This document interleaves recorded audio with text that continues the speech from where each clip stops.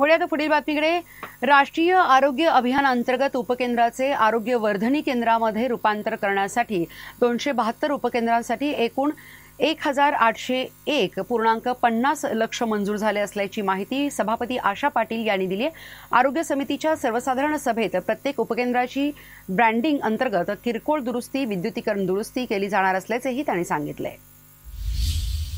सक्रिय कुष्ठरोग शोध व नियमित सनियंत्रण आणि सक्रिय क्षयरोग शोध मोहीम तीनशे अठ्ठ्याऐंशी गावामध्ये एकतीस मार्चपर्यंत चालू आहे.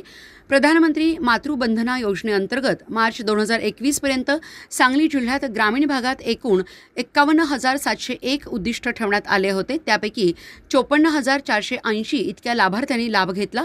तर जननी सुरक्षा योजनेअंतर्गत तीन हजार सातशे तेरा लाभार्थ्यांनी लाभ घेतला. यासाठी अठ्ठेचाळीस लाख अठ्ठ्याण्णव हजार इतका निधी वितरित करण्यात आला आहे. यावेळी जिल्हा परिषद आरोग्य समिती सदस्य निजाम मुलाणी सरिता कोरबू विटायत पंचायत समिती सभापती Maruti Shinde Tamangonda Ravi Patil Reshma Salunkhe Vaishali Kadam doctor M D Pore सदस्य सचिव तथा जिल्हा आरोग्य अधिकारी जिल्हा माता बाल संगोपन अधिकारी डॉक्टर विवेक पाटील जिल्हा क्षयरोग अधिकारी डॉक्टर एस ए जोशी जिल्हा हिवताप अधिकारी श्रीमती शुभांगी अधटराव तसेच तालुका आरोग्य अधिकारी व आरोग्य कर्मचारी उपस्थित होते.